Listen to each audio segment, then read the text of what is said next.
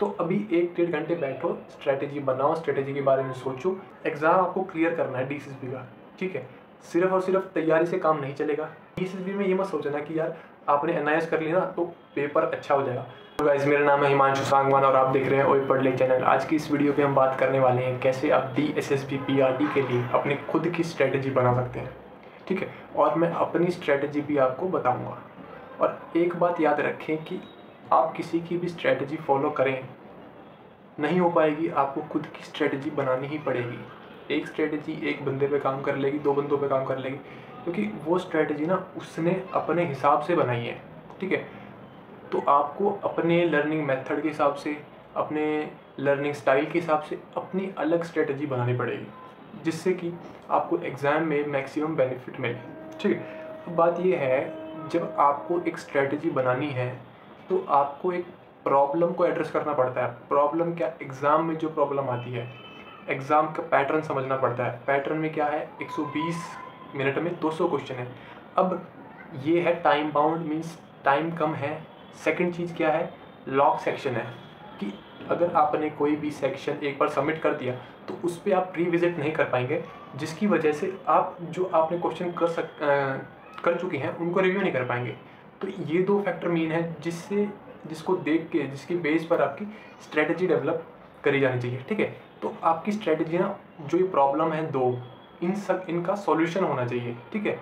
अब इनका सॉल्यूशन कैसे होगा? फ़र्स्ट आपकी स्ट्रेटजी टाइम जो कम है, जो दिख रहा है कि 120 मिनट में 200 क्वेश्चन है, इस स्ट्रेटजी आपको ऐसे डेवलप करनी है जिसकी वजह से आपको ये टाइम कम ना लगे, ठीक है? जैसे मेरी स्ट्रेटजी जो थी उसमें मेरे पास आखिरी में 20 मिनट बच रहे थे आखिरी में, ठीक है?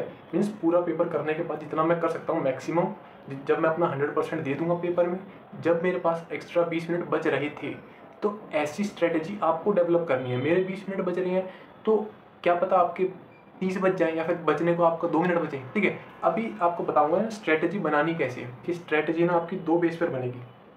दो बेस पे बनेगी आपकी स्ट्रेटजी फ़र्स्ट आपको स्कोर कितना करना है, ठीक है? आपका D S S B P R T में नेक्स्ट एग्ज़ाम में स्कोर टारगेट क्या है? ठीक है, एक तो है आपका स्कोर दूसरा है आपको कौन कौन से सब्जेक्ट आते हैं? आने का मतलब कौन कौन से सब्जेक्ट आप कह सकते हो हाँ यार, अगर इसके बीस क्वेश्चन मिल जाए ना तो मैं उसमें सेवनटीन प्लस एटीन प्लस ले आऊँगा।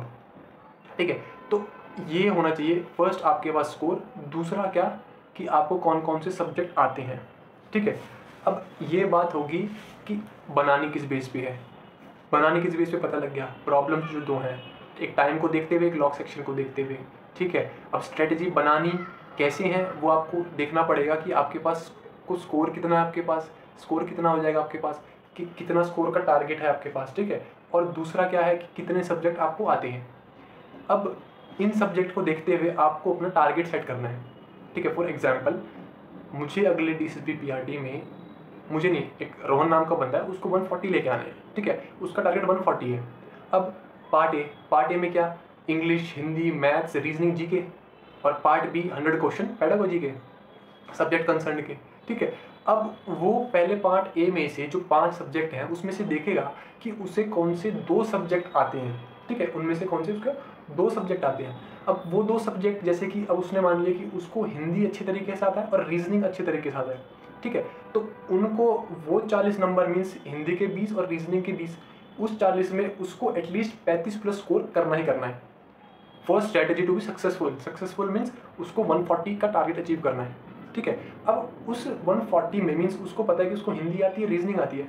अब उस 40 में वो कितने लाएगा? 35 प्लस लेके आएगा। ठीक है?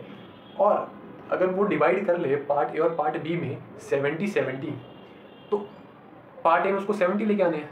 अब उस सेवेंटी में क्या है, उसने वो भी पता कर लिया कि उसको हिंदी स्ट्रॉन्ग है और रीजनिंग स्ट्रॉन्ग है, जिसमें उसके पहले जो हिंदी और हिंदी और रीजनिंग है, उस चालीस में से उसके पैंतीस नंबर बन रहे हैं। अब बचे पार्ट ए के साठ क्वेश्चन साठ क्वेश्चन मीन्स साठ नंबर बचे। अब उस साठ में से उसको पैंतीस ही लेके आने हैं, ठीक है? पहले चालीस में से उसको पैंतीस लेके आने थे, जो कि उसके स्ट्रॉन्ग सब्जेक्ट है, वो आ सकते हैं।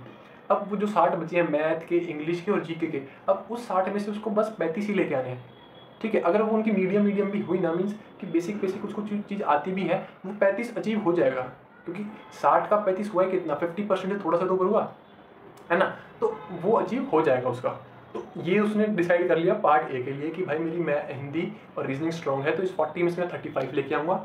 मैथ्स इंग्लिश और जी मेरी ठीक ठीक नॉर्मल नॉर्मल है तो इस साठ नंबरों में से मैं पैंतीस और लेके आऊँगा। तो उसके पार्ट ए में होगी सत्तर नंबर। अब बात आती है पार्ट बी की। पार्ट बी में तो ऐसी कोई स्ट्रेटेजी काम नहीं करेगी कि जी, आप खुद से डिसाइड कर लो, क्योंकि वो सब्जेक्ट पूरा एज अ होल हो गया ना। पूरा सौ के सौ सेम सब्जेक्ट हो गया। तो उसमें ना आपको पढ़ना ही पड़ेगा। उसमें कोई वो चारा नहीं है। पढ़ना तो पार्ट ए में भी पड़ेगा। पर पार्ट बी के लिए ऐसे, ऐसा कोई स्ट्रेटेजी वो बना नहीं पाएगा। तो पार्ट बी के लिए आपको पढ़ना ही पड़ेगा। बस पार्ट बी का टारगेट रहना चाहिए। सेवेंटी का, रोहन का टारगेट सेवेंटी का रहेगा। ठीक है? अब वो सेवेंटी के लिए क्या क्या पढ़ सकता है? एनआईएस पढ़ लेगा। ठीक है? जितने भी प्रीवियस ईयर हैं, वो सारे पढ़ लेगा। और क्या, और बचा ही क्या, ठीक है? अब मतलब अगर आपने एन और मैक्सिमम प्रीवियस सारे कर लिए तो maximum part of the syllabus आपका कवर हो जाता है। और इसमें डी में ये मत सोचना कि यार आपने एन कर लिया ना तो पेपर अच्छा हो जाएगा। पेपर मतलब आप एक्सपेक्ट कर सकते हो अच्छा हो जाएगा, क्योंकि वो पता नहीं ना कैसा पेपर दे देते हैं। बहुत घुमा के भी दे देते हैं और कभी कभी बहुत आसान भी दे देते हैं। बस ये है कि एन आपकी हेल्प कर सकती है बहुत ज़्यादा। तो एन तो मस्ट अगर आपको डीएसएसबी में अच्छा स्कोर करना है तो ठीक है? अब रोहन की स्ट्रेटेजी बन चुकी है वन मार्क्स को देख के।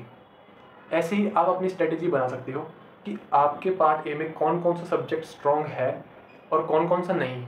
तो दो सब्जेक्ट स्ट्रॉन्ग हुए तो उन दो सब्जेक्ट में मतलब चालीस नंबर में पैंतीस प्लस आप अपना टारगेट रखिए और अगले साठ में भी पैंतीस प्लस टारगेट रखिए। मतलब वो डिवाइड हो जाएगा जिस आपका आपका टारगेट है। मीन्स वन फोर्टी है वन फिफ्टी है वन सिक्सटी है वन ट्वेंटी है तो ऐसे आपका पूरा का पूरा कवर हो जाएगा। ठीक है? तो ये बात होगी। अब एग्ज़ाम आपको क्लियर करना है डी का। ठीक है? सिर्फ़ और सिर्फ़ तैयारी से काम नहीं चलेगा। अपनी एक डेढ़ घंटे बैठ के आराम से इंट्रोस्पेक्शन करो, खुद के बारे में सोचो कौन कौन से सब्जेक्ट स्ट्रॉन्ग हैं किस किस सब्जेक्ट में आपको क्या क्या दिक्कतें आ रही हैं, ठीक है? ढंग से सोचो और एक स्ट्रेटजी बनाओ अच्छी सी, ठीक है? कि भाई मुझे इसमें इतने मार्क्स लाने हैं और वो टारगेट सेट करके चलोगे ना तो वो तैयारी आपकी आसान होती चली जाएगी। आगे बात समझ। तो अभी एक डेढ़ घंटे बैठो स्ट्रैटेजी बनाओ स्ट्रैटेजी के बारे में सोचो, कितने मार्क्स लेके आने हैं, क्योंकि लास्ट टाइम पे जाके बनाओगे कोई फ़ायदा रहेगा नहीं टारगेट फिर आपके पूरे होने पाएँगे। बाकी बात समझ। तो ये कर लो। तो ये था आज की वीडियो में बात, ठीक है?